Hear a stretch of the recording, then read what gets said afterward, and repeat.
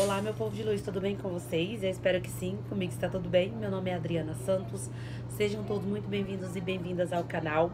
Quero começar esse vídeo já pedir para você que não é inscrito que se inscreva, curta, comente, compartilhe para ajudar o crescimento do canal, certo? O que, que eu quero falar com vocês hoje? Vai ser um vídeo relativamente rápido, tá? É, tendo em vista o assunto que eu quero tratar com vocês. Uh, um inscrito, né, não sei se é inscrito ou inscrita, ele comentou lá a respeito de lista para iniciar o mercadinho, a mercearia, enfim. Uh, o nome dele tava lá, Vida na Roça, Pai Catu, se eu não me engano. E ele me disse assim, Adriana, é, fala uma listinha, alguma coisa aí pra gente. Ah, minha máscara. Uh, pra, gente, pra eu começar meu mercadinho, uma lista inicial de mercadoria. E eis-me aqui, vou fazer uma lista inicial para uma mercearia, um mercadinho. Lembrando vocês, pessoal, eu vou fazer baseado na minha experiência, nas minhas vendas da minha região. Aí você vai adequando esta lista para a tua realidade, para a tua região. Tem produtos que são regionais, então você tem que ter, tem que ter na tua loja. Tem produtos que são de gosto nacional, tipo Coca-Cola, gosto nacional, certo? Então, você vai adaptando aí de acordo com a tua região, né? Igual eu sou lá do Mato Grosso do Sul. É muito comum tomar tereré, tomar chimarrão. Lá as pessoas vendem erva mate, erva para chimarrão. Aqui em São Paulo não é, é, não é regional, não é tradição. Então não, não tem para que eu colocar para vender tendo em vista que aqui mesmo no bairro que eu moro são pouquíssimas pessoas do sul ou aí do, do nosso Mato Grosso, do Mato Grosso do Sul, que consomem esse tipo de produto, certo? É, então, pessoal, pegando essa linha aí, né, você vai pegar a lista e vai adaptar aí é, para os produtos regionais da tua região. Igual aqui. Aqui a gente, apesar de estar em Osasco, São Paulo, a gente vende muita farinha para cuscuz, porque tem muito nordestino aqui na minha região. Então, apesar de não ser um produto regional, por ter muitos, muitas pessoas de lá, a gente vende muito bem, né? Então, é, vamos lá. Dito isso, vamos começar com a lista. Vão marcando aí. Vou esperar vocês pegar caneta e papel. Pegado? Deu tempo? Pausa o vídeo que dá tempo. Pega caneta e papel, vamos marcando. Vou falar coisas assim que é para qualquer região, tá? É, qualquer região que você vai iniciar um mercadinho, uma mercearia, é preciso ter esse tipo de mercadoria. Vamos começar por produtos básicos de mercearia. Arroz, feijão. Deixa eu fazer uma observação aqui no arroz. Aqui a gente vende muito mais arroz de 1 kg do que arroz de 5 quilos, tá bom? Porque somos mercadinhos de última hora, geralmente as pessoas compram de 5 kg em mercados maiores, tem melhor preço porque fazem também a compra do mês, certo? Mas aí você vai ver na sua região se o consumo é maior de 1 kg, 2 kg ou 5 quilos. Mas vai anotando aí.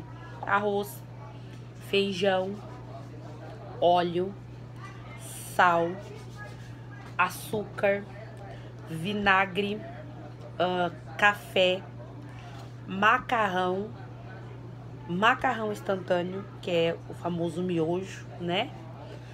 Molho de tomate, ah, trigo, né? A farinha de trigo também é bem, é bem assim amplo, né? As regiões da farinha de trigo. Milho de pipoca a gente vende muito, porque as pessoas estão tá assistindo um filminho, alguma coisa, vem e compra milho de pipoca. Farinha de mandioca.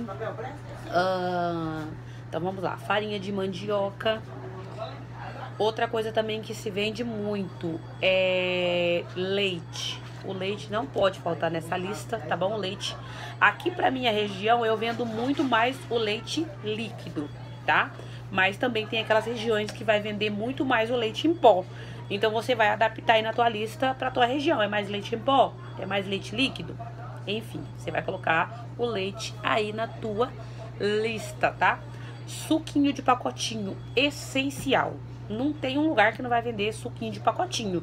Marca famosa, marca não famosa, vai vender porque a pessoa vem correndo em casa almoçar. Não tem dinheiro para um refri. Pega um suco. Suco a gente vende todas as horas, independente da classe social, da onde esteja o mercadinho da gente, certo? Uh, a sardinha também é bom você colocar aí na tua lista de produtos para iniciar a mercearia, porque é uma mistura rápida e de boa conservação, longa data de validade, apesar de estar caríssima agora, mas é legal, é bacana você incluir ela aí na tua lista. Outra mistura bacana para você incluir na tua lista é o ovo, tá? Lá no início, quando eu comecei a mercearia, eu não tinha condições de comprar caixa fechada de ovos. Eu comprava desse pessoal que passava aí, naquela época era não sei quanto, por 10, por 8. E aí eu conversava, negociava um descontinho para comprar três bandejas, duas bandejas e vendia na unidade. Às vezes eu não lucrava nada. Eu pegava por 50 centavos e vendia por 50 centavos a unidade. Porém, eu tinha, porque era uma coisa que toda hora as pessoas estavam atrás. Aí eu vendia os ovos, às vezes não lucrando um pouquinho ou quase nada. Às vezes lucrava um real numa bandeja, dois, e olhe lá. E, mas eu tinha, que era uma coisa rápida. A pessoa pegava o trigo, cria ovos também para fazer bolo, tipo assim, né? E para uma mistura rápida também. Agora eu compro caixa fechada, óbvio, tem um lucro maior, o giro dele, então nem se fala. Mas é bom você ter ovos também na tua mercearia, no teu mercadinho, é, que toda hora vai ter alguém perguntando. É uma coisa também que as pessoas não compram em grande quantidade que estraga. Então ela vai comprar de, meio que diariamente aí, tá? E, e o café. O café é bom você ter uma marquinha mais regional aí, sabe assim? Às vezes não coloca muito barato, porque é muito barato não. Vê um café que é mais consumido na tua região. Porque todo lugar tem um café regional. Então, mesmo que ele não esteja dentro do perfil de ser baratinho, mas é uma coisa que você sabe que você vai vender, porque é um café que se vende muito na tua região. Então, você pode começar colocando ele pequenininho, de 250 gramas, né? E depois o pro de 500. Eu já vi que tem lugares aí que tem até de 100 gramas, né? Aqui não tem, aqui tem 250 e 500. Mas é, é, é válido você estar tá colocando esse produto aí na tua mercearia, no teu mercadinho, porque é um produto que as pessoas também vão procurar de última hora, à noite ou de manhãzinha a hora que tiver que fazer aquele cafezinho rapidinho, tá bom? Então, indo nessa pegada, assim, é, do café e o açúcar, de tudo que combina um com o outro, e molho e tal, tenha alguma coisinha de café da manhã. Porque às vezes a pessoa não quer ir na padaria, tá na pressa ali, ou não gosta de comer pão na parte da manhã. Então, eu aconselho você a ter um biscoito aí de água e sal, ou creme cracker, não sei o que, que se consome melhor na tua região. E um biscoitinho de maisena, né? Pra tomar café da manhã certo?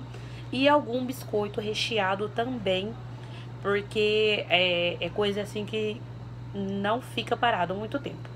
Então tem um mais popularzinho, mais barato, e tem um de marca mais renomada que é, se consome bem na tua região. Sempre trabalhando nessa linha de pensamento. Duas marcazinhas. Uma marca mais inferior, uma marca mais é, topzinha, mais assim, é, conhecida nacionalmente, né? Foi o caso que eu falei do refrigerante. É, o leite condensado é um produto que também não é muito barato.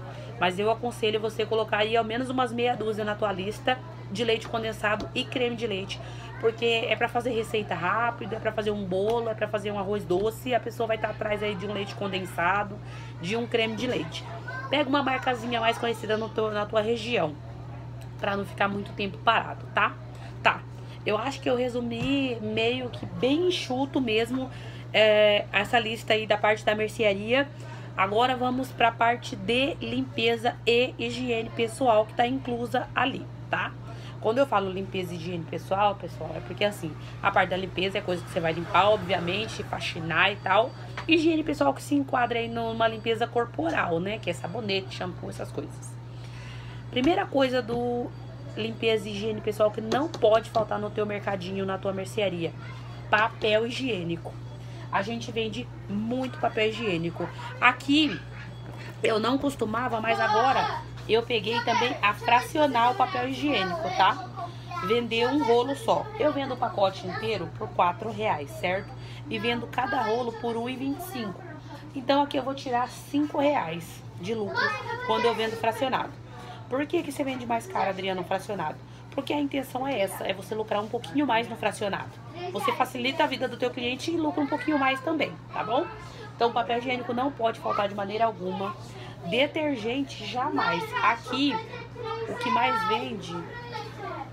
Aqui o que mais vende é o da IP. Mas eu tenho outra marca aqui, Limpol. Então você vai ver a marca regional na tua região aí que mais venda. Sabão em pó também eu aconselho sempre você ter um pequenininho e um de um quilo. Marcas também que saiam bem aí na tua região, tá bom? Outra coisa também que não pode faltar na parte da limpeza é palha de aço, né? O famoso bombril, que às vezes não é da marca bombril, mas a gente fala bombril. Então, palha de aço não pode faltar. Eu também fraciono a palha de aço. Vem oito no pacote. Eu vendo a dois reais o pacotinho e 50 centavos cada palha solta. buchinha de lavar louça, de lavar prato, né? Também não pode faltar. Porque as pessoas viram e mexem assim, elas lembram ou perdem e vêm pegar. Uh, água sanitária não deixa faltar de jeito nenhum, porque tanto serve para lavagem de roupas como para limpeza de casa também. Amaciante tem aí uma marca mais regional também. Uh, essenciais que não pode faltar. Uh, água sanitária, sabão em pedra também, ó. Eita, derrubei o negócio aqui. Aqui, gente, dificilmente eu vendo pacote fechado, mas unidade eu vendo bastante. Então a gente tem que ter sabão em pedra. Outra coisa, né, que a gente não pode deixar faltar no mercadinho é absorvente. Absorvente é uma coisa que você vai vender bastante, porque as pessoas são pegas de surpresas e vêm comprar absorvente de uma hora para outra. Então tenha marcas que mais vendam aí na tua região. Eu tenho mais baratinho, tenho mais caro, tenho noturno, mas comece aí com o básico. Creme dental também não pode faltar nessa lista, tá? Você pode trazer um mais top, um mais barato, mas não pode faltar. Sabonete, jamais deixe faltar sabonete, porque sabonete é uma coisa, ainda mais onde tem muita criança, que nunca tem sabonete. É igual papel higiênico. Então, na hora H lá, a pessoa vai lá, menino, compra o sabonete, compra mais barato. Então, você tem que ter um mais baratinho e um melhorzinho, tá? Uh, eu acho que eu falei tudo. Fralda, eu falei do sabão em pó, falei do amaciante. Cotonete é uma besteira que as pessoas sempre esquecem. A gente vende muito. Cotonete, acetona, algodão. Tá tudo aí nessa englobado nessas vendas casadinhas aí, tá? Uh, desodorante também é bom ter um mais baratinho, mais carinho, né? E é isso. Copo descartável eu vendo bem também. Se você quiser ter uma ou duas unidades, é bom ter. Prendedor de roupa eu vendo quase todos os dias. Porque as pessoas perdem muito o prendedor de roupa. Então a gente vende muito bem. Então é bom ter também, tá?